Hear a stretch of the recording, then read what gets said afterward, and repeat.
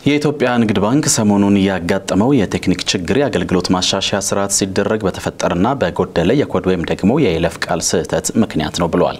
የኢትዮጵያ ንግድ ባንክ ይህን ያለው ሰሞኑን አጋጥሞት ከነበረው ሁኔታ ጋር በተያያዘ ያሉ ጉዳዮች ላይ ከጥቂት ሰዓታት በፊት በዋና መስሪያ ቤቱ መግለጫ ሰጥቶ ነው። መግለጫውን ያሬድ ንጉሴ ተከታትሎታል። ደስዬ ልባይ ደግሞ እንደሚከተሉ ያቀርበዋል።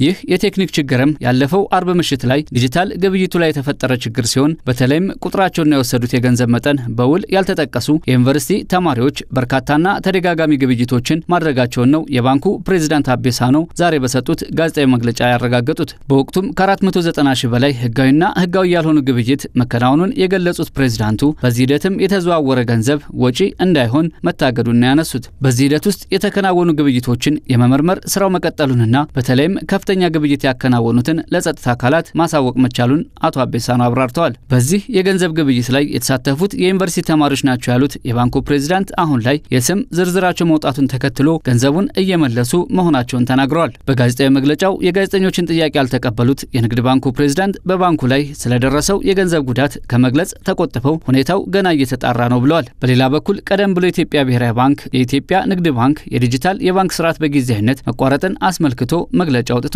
ብሔራዊ ባንክ በዚሁ መግለጫው በሁሉም የፋይናንስ ተቋማት የሚገኙ የፋይናንስ ስርዓቶች ደህንነታቸው የተጠበቀ በመሆኑ ህብረተሰቡ ያለምንም ስጋት የፋይናንስ አገልግሎቶችን መጠቀም መቀጠል እንደሚችል አስታውቋል። ባንኩ አያይዞም አጠቃላይ የፋይናንስ ስርዓቱ ደህንነት የበለጠ የተጠበቀ አስተማማኝና የተረጋጋ ሆኖ እንዲቀጥል አስፈላጊ እርምጃዎችንና የአሰራር ስርዓት ማሻሻያዎችን መውሰዱን እንደሚቀጥልም አስታውቋል። ከዚሁ የኢትዮጵያ ንግድ ባንክ የዲጂታል የባንክ ስርዓት በጊዜያዊነት መቋረጥ ጋር ተያይዞ የሀረማያ ዩኒቨርሲቲ ሰሞኑን ባንኩ አጋጥሞኛል ያለውን የሲስተም ችግር ተከትሎ በዩኒቨርሲቲ ውስጥ ከ12 ሺህ ብር በላይ ጥሬ ገንዘብ ይዘው የተገኙ ተማሪዎች በህግ ቁጥጥር ስር ውለዋል በሚል የተሰራጨው መረጃ ስህተት ነው ብሏል። የዩኒቨርሲቲው የጥበቃና ደህንነት ዳይሬክተር ኮማንደር አባድር ዩያ በተለይ ለጣቢያችን እንዳሉት ባንኩ ባቀረበው ጥያቄ መሰረት ከተማሪዎች ህብረት ጋር በመተባበር የተደረገውን ጥሪ ተከትሎ ከ20 በላይ ተማሪዎች የወሰዱትን ገንዘብ መመለሳቸውን ገልጸው ነገር ግን በቁጥጥር ስር የዋለ ተማሪ የለም ብለዋል። በሌላ በኩል ስማቸው እንዲገለጽ ያልፈለጉ አንድ የዩኒቨርሲቲው ኃላፊ እንዳሉት ደግሞ በተቋሙ ቅጥር ግቢ ውስጥ የሚገኙ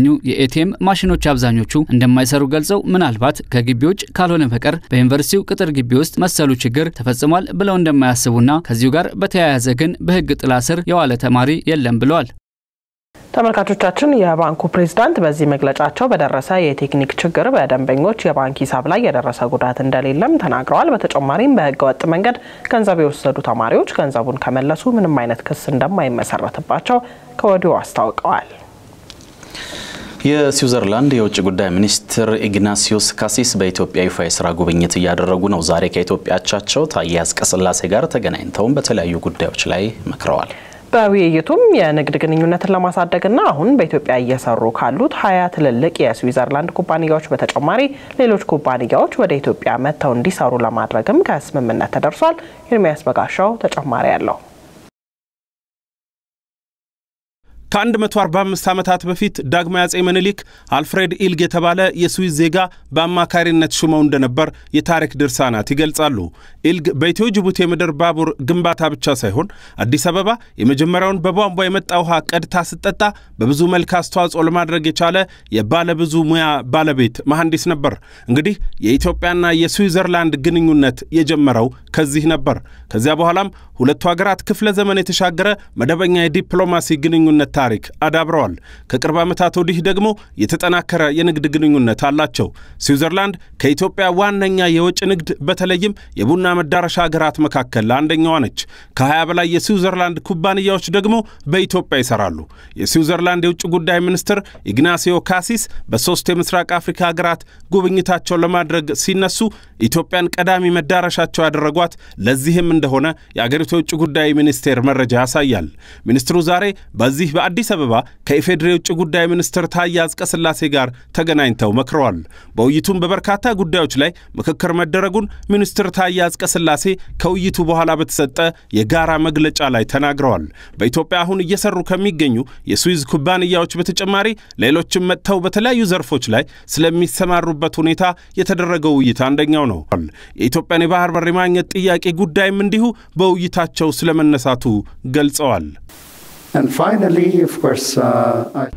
የኢትዮጵያን የባህር በር የማግኘት ጥያቄ በውይይታችን አንስተናል። ለጥያቄው ሁለት ሁነኛ ምክንያቶች አሉን። የመጀመሪያው ምጣኔ ሀብታዊ ምክንያት ነው። ለዓመታት በአንድ ወደብ ላይ ጥገኛ ሆነን ቆይተናል። እርሱ ደግሞ ፍላጎታችን እያሟላ አይደለም። ይህ በከፍተኛ ሁኔታ ተጨማሪ የባህር በር የምንፈልግበት ጊዜ ነው። ፍላጎታችን የንግድ ልውውጥ መንገዶችን በመጠቀምና ሁሉም አሸናፊ በሚሆንበት መንገድ ነው።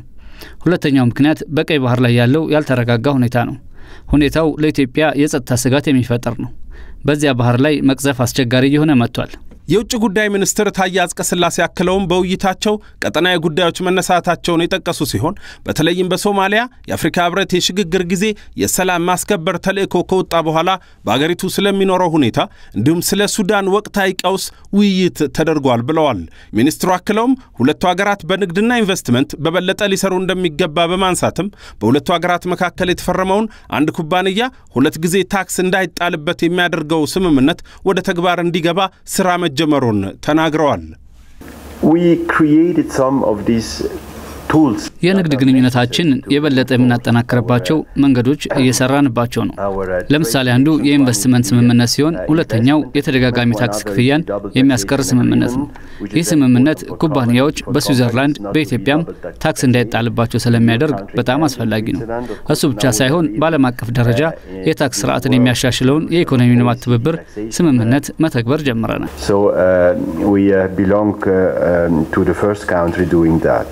አክለውም በቀጣይ ወር ርዕሰ ብሔር ሳህለ ወርቅ ዘውዴ በስዊዘርላንድ ባዜል ከተማ በሚካሄደው ዓለም አቀፍ የሳይንስ ጉባኤ ላይ እንደሚሳተፉ በዚያም ከአገሪቱ ፕሬዝደንት ጋር ተገናኝተው እንደሚመክሩ ተናግረዋል። ሚኒስትሩ አክለውም አገራቸው በተመድ የጸጥታው ምክር ቤት ባላት የተለዋጭ አባልነት ሚና የኢትዮጵያን ጥቅም በሚነኩ ጉዳዮች ላይ አቋሟን ለማንጸባረቅ ቁርጠኛ መሆኗን አረጋግጠዋል። የውጭ ጉዳይ ሚኒስትር ኢግናሲዮስ ካሲስ በቀጣይ ከሌሎች የመንግሥት ከፍተኛ የሥራ ኃላፊዎች ጋር ከመከሩ በኋላ የሦስት ቀናት ይፋዊ የሥራ ጉብኝታቸውን በማጠናቀቅ ወደ ቀጣይ መዳረሻዎቻቸው ጅቡቲና ናይሮቢ የሚያቀኑ ይሆናል።